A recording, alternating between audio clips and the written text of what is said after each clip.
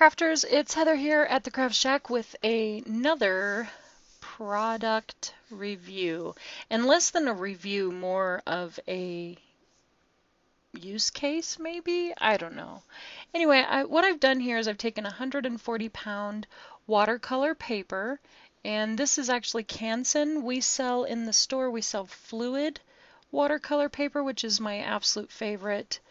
Um, watercolor to use, both hot and cold press, and I love that it comes on a partial block, so it's easy to tear off, but yet it holds it firm. Anyway, I took a piece here um, from my Canson water pad and just cut it up into a 6 by 6 size because that was handy. And I wanted to do an image that I had actually this morning I was making coffee and I was looking out the back window and I saw my neighbor's tree has only got a few leaves left on the branches. And as I was looking at that, I thought, you know, it's kind of interesting when it comes down to this point where there's only a couple of leaves left on the branches and just had these thoughts in my mind about the holdouts, the hanging on to the last minute, the very last second that they can. And I decided I wanted to paint that. So the name of this painting, which came to me after it was over with, is Then There Were Two. And so we're going to use Lindy's Stamp Gang Magicals to watercolor this. And I'm going to show you my version of watercoloring. I'm not a professional watercolor teacher artist or anything. I just really like the medium and I play with it and I've learned a few things. So I'll share with you what I do. Whether it's right or wrong, I don't know. So basically what I do here is um, these magicals come, the way that we carry them in the store is in uh, sets and they're usually five or six colors in a set and it's just a lot of pigment powder and the magicals also have a uh, mica within them as well. And they're just so fun. These magicals are just so fun to use. Now they also come in flat version, which we are using a couple of flats today, but um, we'll get to that as we as we go. But um,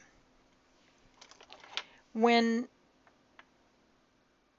when I'm using them as a watercolor, as I'm doing here today, I tend to take my paintbrush and lightly dip it into the powder, preferably a dry paintbrush because you just want to put some pigment on the end of the bristles and carry it over to where you are. If you're worried about contamination, don't do that because you will easily contaminate your work if you do. So, um, so what you might want to do is actually take a little spoon or a little something or other and pull some powder out. Then over on to the right, you see my blue powder, my blue puddle there. I just have off camera, I have a couple of dishes of clean water. The one dish that's closest to my puddle is actually what I rinse my brush with and then I reach further for a clean bit of water. Once I've cleaned my brush, then I go into the clean bin and grab water from that and use it for different things. So now this is a wet brush, of course, and I dip it in. Now then the second way that I use it is like I'm doing here, where I will go directly to the wet paper with the pigment and it makes a very strong striking color. And I allow it to mix and blend on the paper. That's another way to do it. It's very unpredictable. It's, um, you know, I just splashed some water into their, into that color to make it kind of blend a little bit more too. So some of this stuff is hard to see with as zoomed in as I am, but really wanted to see the, the image a lot better. So now notice I'm picking it up from one area and then taking it over to where there isn't any green and dropping it there watercolor is tricky because it, we really want to control things when we do our art and we really want to make it go where we want it to go. And with watercolor, I mean, uh, look at it. At this stage, it looks like a hodgepodge, a real mess. It's blurry. It's all over the place. There's no defined lines, really. Um, the lines that are defined don't look very good. The key here is to remember layers upon layers upon layers, and we'll, we'll eventually have the look that we want. The other thing that you can do with watercolor is scratch into the surface, which will create some darker lines without having to use a lined brush. Now I use two tools. This one, both of them are Cricut tools. use what you got, right? And uh, that one there, the, that poking tool is much better for what I was trying to do. The other spatula thing didn't make no lines at all. I was just trying to see if it would work, and it did not. So now, in color theory, you want to work with the colors that are opposite of each other to tone each other down. So green and green blue, they're both next to each other on the color wheel, so they blend nicely to create that background. But it looked very tropical to me, so I wanted to kind of bring it down, kind of mute it, kind of um, less bright. And to do that, I go across the color wheel, which is like the orange area and grab some orange and now I'm adding it in certain places to make it a little darker and to definitely pull out those bright fantastic blue greens that I was seeing before.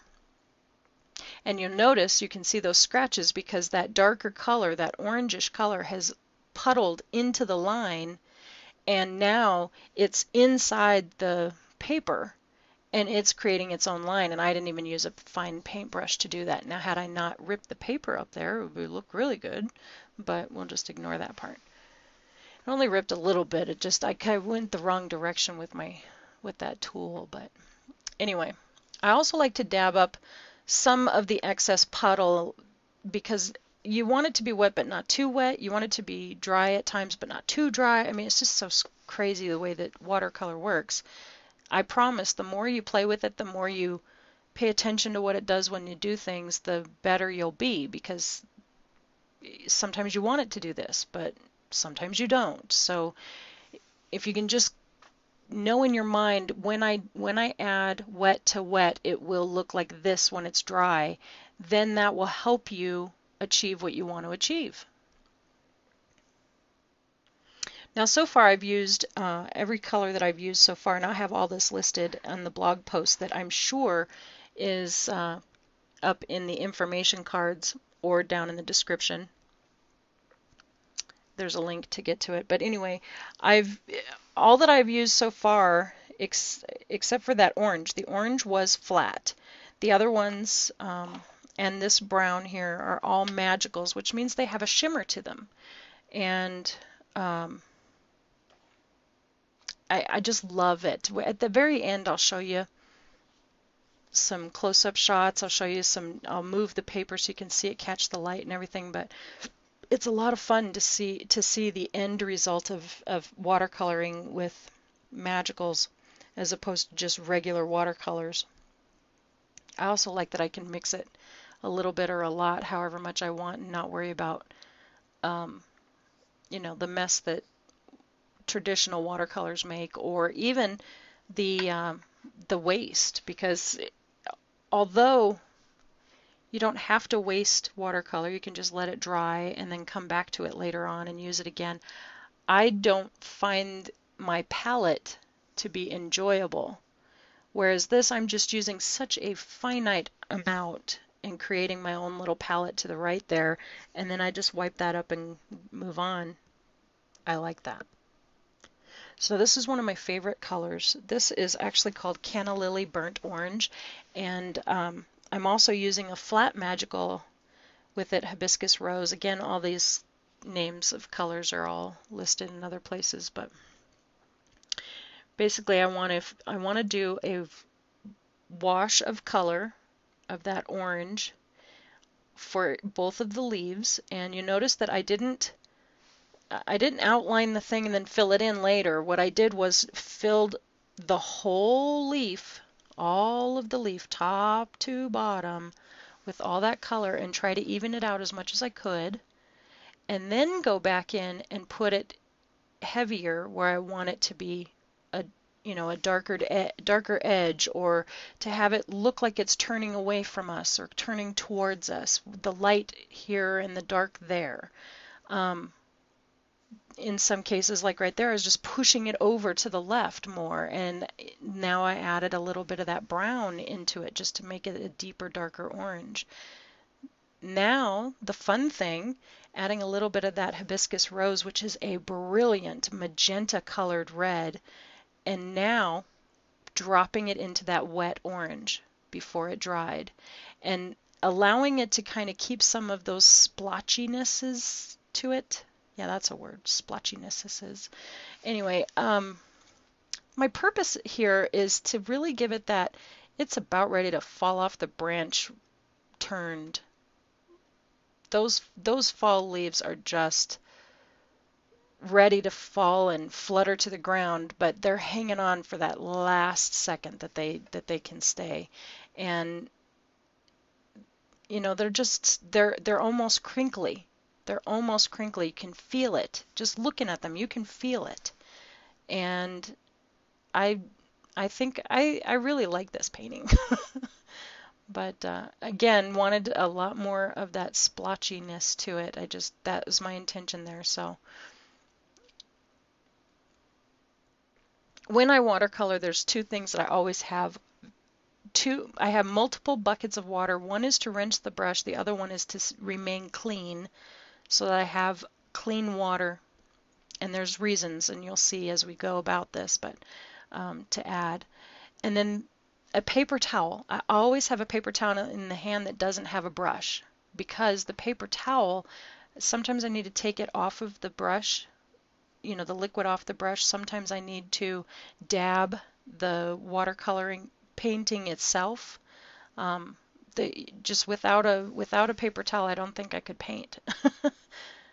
um, and then patience. That's another item you need. And if you don't have patience and you want to force something to happen, you can use a, a hair dryer, or in this case, it is a crafting heat tool this one is uh, by Ranger, and we do sell this one in the store, and I do like it, especially for my watercoloring because I think that it it's a diffused heat, so it works really good. But um, but you don't always want that because it makes, as you can see in the leaf on the left, it has that circle that I'm trying to pull out there. It has that uh, water droplet line, and the reason why it had that is because I forced it to dry rather than leaving it dry.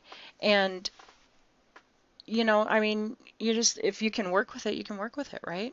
I try to make it work. I eventually fix it a little bit and make it look like I wanted it to in the beginning anyway, but you know, it's process. Adding more of those lines. Really glad I did this. Kind of wish I did more on this one right here. And those don't really show up very well, but that's okay. So, as you see, as I'm doing these layers, the leaves ended up really bright, very bright orangey red. And as I love that color, it just is not quite what I was after. So I decided to do what is called a glaze, where you take another color and now the leaves were dry. Remember that they were dry. And now I'm going over the entire thing with the brown.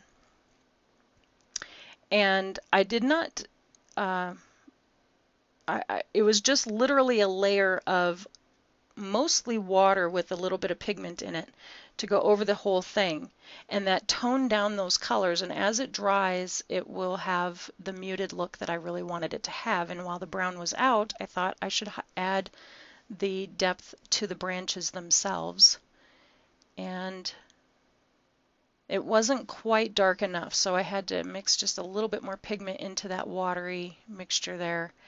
And now, when I dropped it down onto the branch, you saw me just sort of dab with the tip of the brush. And that created obviously a wet line.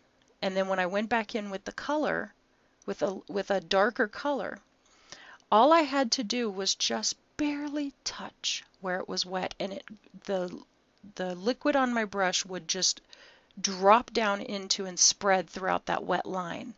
So it just made it really simple to do.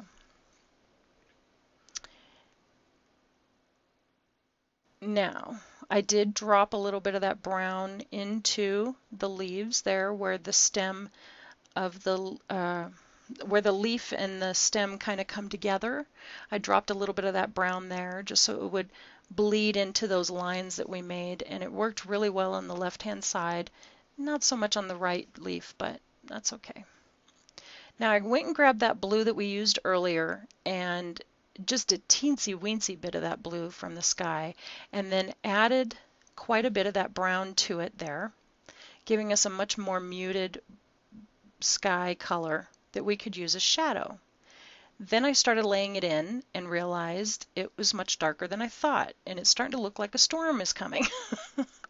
so using that clean water that I was talking about before, I would go in and dab off or push the color towards the branch, keeping the, the clean water would keep it from um, creating more color and it would took it, it took away some of that dark cloudiness.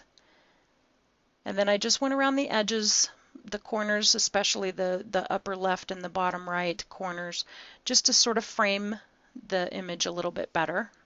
And now as I'm drying it, you see that harsh edge is there. So I go in with clean water and just sort of scrub a little bit. It's not really like scrubbing like pots and pans scrubbing, but it's just more like using a wet brush with clean water to just diffuse that harsh line. And anywhere I saw harsh lines that I didn't like, that's what I was doing. Lots of water right there. And dabbed it up because it was too much water. Did not want it to be that wet.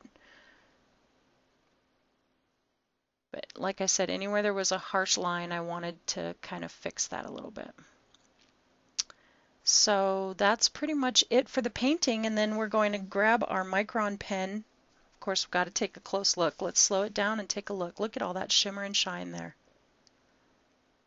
Get a good shot there for you.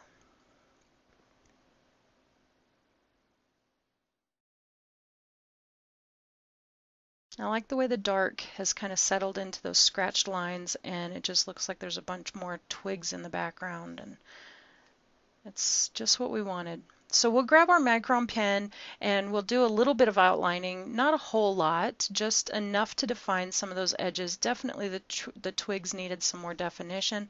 So watch as I do that and then of course I'll run that Micron pen around the whole border just to finish it off and sign my name at the bottom. And I ask that you take a minute to, if you enjoyed this at all, give this video a thumbs up. That lets me know that you really liked it. If you have any thoughts, questions, comments, or just want to say hey, please leave them below.